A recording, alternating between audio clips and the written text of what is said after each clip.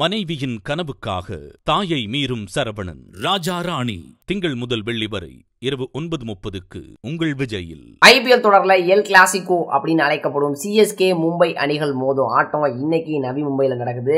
IPL அப்படின்னாலே ஒரு குதூகலம் இருக்கும். அதுலேயும் சிஎஸ்கே மும்பை மேட்ச் மோதுறாங்க அப்படின்னா கண்டிப்பாக ஒரு பரபரப்பு இருக்க தான் செய்யும். அது என்னங்க எல் கிளாசிகோ அப்படிங்கிற கேள்வி எல்லாருக்குமே வரலாம். என்ன அப்படின்னா ஸ்பெயினில் நடைபெறும் லாலிகா கால்பந்து தொடரில் பார்செலோனா அணியும் ரியல் மேட்ரிட் அணியும் மோதும் ஆட்டத்தை தான் அப்படி சொல்லுவாங்க.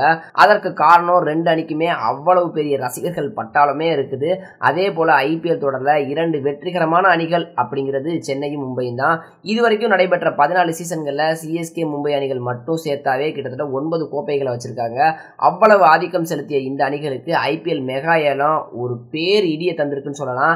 ரெண்டு அணிகளுமே கட்டமைத்த கட்டமைப்பு அடி உடஞ்சு போய் கிடக்கு. அதன் விளைவாக இந்த வருட ஐபிஎல்ல இரண்டு அணிகளுமே புள்ளிப்பட்டியல்ல கீழே கிடக்குறாங்க. எப்போதுமே டாப் இரண்டு அணிகளாக இருக்கும் சென்னையும் மும்பையும். இந்த முறை அப்படியே கீழே கிடக்குறாங்க. இரு அணிகளோட பலத்தை விட பலவீனம் தான் அதிகமாக இருக்குது மும்பை அணியில் பும்ராவை தவிர வேற எந்த வேகப்பந்து வீச்சாளரும் அணியை காப்பாற்றல ஆனால் சென்னை அணிக்கு விக்கெட்டை வீழ்த்தும் வேகப்பந்து வீச்சாளர் அப்படிங்கிற ஒருத்தர் இல்லவே இல்லாத மாதிரி இருக்காங்க.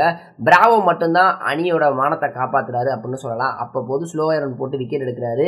மும்பை அணியில் சுழற்பந்து வீச்சாளர்கள் எதிரணியை நடுங்க வைக்கக்கூடிய வகையில் பந்து வீசலை. அது ஒரு மிகப்பெரிய பலவீனமாக இருக்குது இதே தான் சென்னைக்கும் இருக்குது மகிஷ் தீக்ஷனாவை கண்டுபிடித்தது தவிர வேற யாரும் பெருசா பண்ணல. ஜடேஜா மொயின் அலி தங்களுடைய பழைய பவுலிங்கை வந்து அவங்க போடல. இதன் காரணமா சென்னை அணிக்கு ஒரு பின்னடைவாக தான் பார்க்கப்படுது.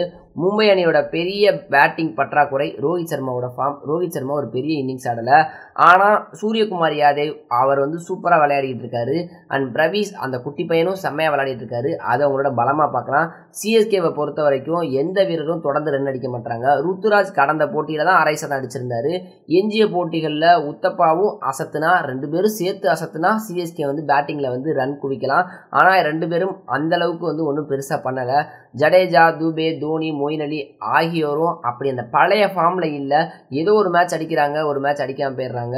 பிரிட்டோரியஸ்க்கு பதிலாக எதுக்கு ஜோர்டனை கொடுத்தாங்க வாய்ப்பு கொடுத்தாங்கன்னு தெரியல. லாஸ்ட் மேட்ச் ஜோடனால தான் வந்து சிஎஸ்கே தோற்று போனாங்க. இப்படி பல குறைகள் இருக்குது மும்பை அணியை பொறுத்த வரைக்கும் அப்படி ஒரு குறை இல்லை. ஆனால் பிளேயிங் லெவனில் இருக்கும் வீரருக்கு சரியாக விளையாடினாலே போதும். ஆனால் சென்னை அணியில் பிளேயிங் லெவனில் இந்த ஒருத்தரை எடுத்துட்டு அந்த ஒருத்தரை எடுக்கலாம் அப்படின்னு பிளேயிங் லெவனை மாற்றுறதுக்கான அவசியம் இருக்கா அப்படின்னு ஒரு கேள்விக்குரிய வந்திருக்கு. இன்னைக்கு சென்னைக்கும் மும்பைக்கும் ஆட்டம் நடைபெற இருக்கு. ஒருவேளை இன்றைய போட்டியில் மும்பை அணி தோல்வி பெறும் பட்சத்தில் அதிகாரப்பூர்வமாக அரையிறுதி வாய்ப்பை மும்பை அணி இழந்துரும். சென்னை அணி ஜெயிக்கும் பட்சத்தில் அரையிறுதிக்கான வாய்ப்பு ஓரளவுக்கு இருக்கதா செய்யும். வரும் போட்டிகள் எல்லாத்துலேயுமே சென்னை அணி ஜெயிச்சா அந்த அரையிறுதிக்கான வாய்ப்பு இருக்கும். மும்பை அணி ஜெயிச்சா அதே அரையிறுதி வாய்ப்பு ஓரளவுக்கு இருக்கும். என்ன நடக்குது அப்படிங்கிறத பொறுத்து தான் பார்க்கணும் இன்னைக்கு மேட்ச்ல ஆல்ரெடி சென்னைக்கும் மும்பைக்கும் மேட்ச்னாலே ஃபயர் விட்டுட்டு ஸ்டேட்டஸ் போட்டுட்டு இருப்போம் பட் இன்னைக்கு இப்படி ஒரு இக்கட்டமான மேட்ச்ல வந்து சென்னையும் மும்பையும் விளையாடுறாங்க. இன்னைக்கு மேட்ச்ல யார் ஜெயிப்பாங்க? மேட்ச் எப்படி அனல் பறக்கும் அப்படிங்கிறத கமெண்ட் பாக்ஸில் மறக்காம தெரியப்படுத்துங்க. மனைவியின் கனவுக்காக தாயை மீறும் சரவணன் ராஜா ராணி திங்கள் முதல் வெள்ளி வரை இரவு ஒன்பது முப்பதுக்கு உங்கள் விஜயில்.